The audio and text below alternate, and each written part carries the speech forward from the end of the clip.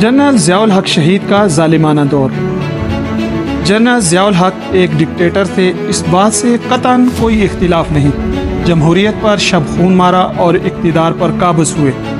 कुछ लोग कहते हैं, जनरल साहब नफाज इस्लाम का नारा लगाकर सिर्फ़ अवामी जज्बात को ठंडा करते रहे। हकीकता जनरल साहब नफाज इस्लाम के लिए मुखलिस न थे।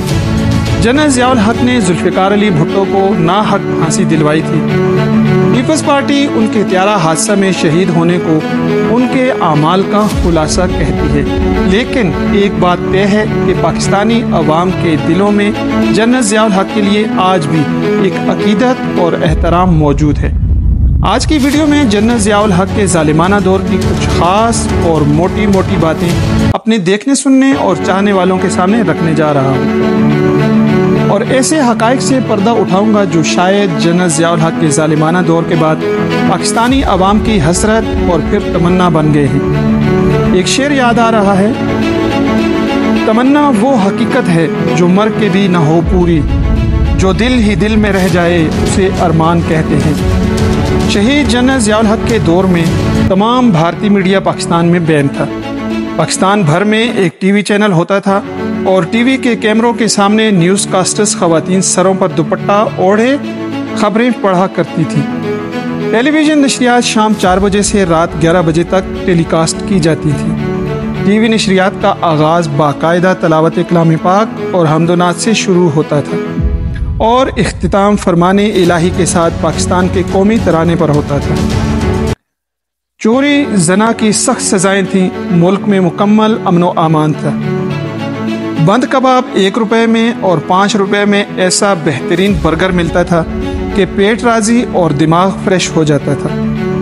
नाजरीन गिरामी, ये सुनी सुनाई नहीं, बल्कि ज़ाती मुशाहिदात जो मैंने ख़ुद से इंजॉय किए हैं। दस रुपए में एक मज़दूर पेट भर दो वक्त का खाना खा लेता था, जबकि पचास पैसे में तंदूर की रोटी बनती थी।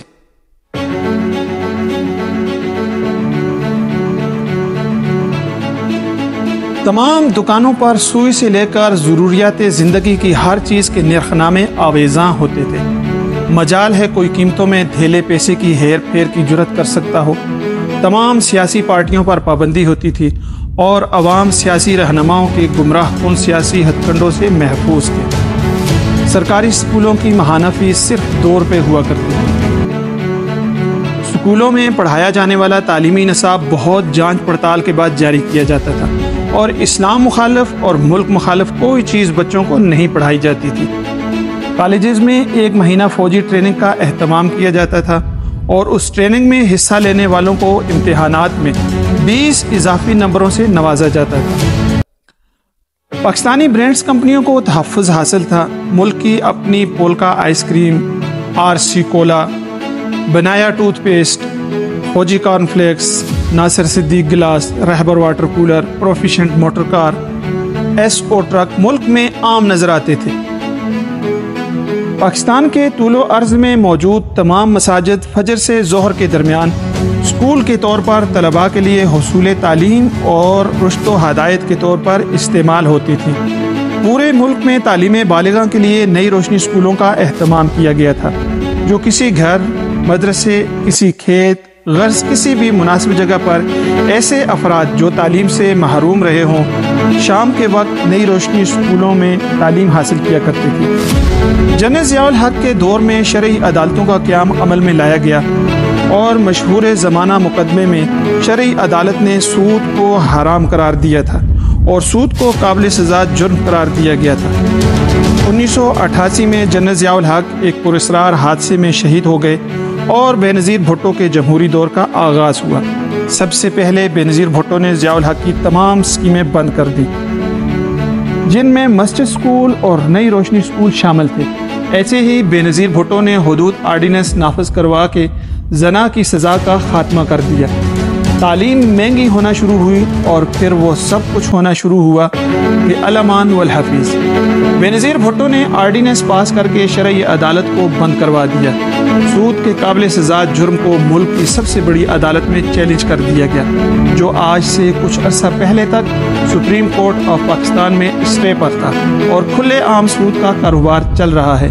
यानी अल्लाह और उसके रसूल से खुली जंग। और सूद काबिल सजा जुर्म न रहा और न है। बिल्कुल वैसे ही जैसे कुछ वजारतें और दीगर कुछ मामला स्टे पर चलाए जा रहे हैं। स्टे की आड़ में सब जायज़। नाजरीन ग्रामी, अब आप बहसीत मुसलमान, इन सारे ालिमाना इकदाम पर अपनी आरा से कमेंट बॉक्स में ज़रूर आगाह करें। अगर ये वीडियो आपको पसंद आए तो इसको लाइक ज़रूर करें, अपने अहबाब के साथ इस वीडियो को शेयर ज़रूर करें। अगर चैनल पर नए हैं तो चैनल को सब्सक्राइब कर लें, बेल आइकन को प्रेस करना बिल्कुल ना भूलें। अपना, अपने अजीज़ों और रिश्तेदारों दोस्तों का सबका बहुत सारा ख्याल रखें। आप सबके देखने सुनने का शुक्रिया। दूसरी वीडियो तक अल्लाह हाफिज़ नासिर।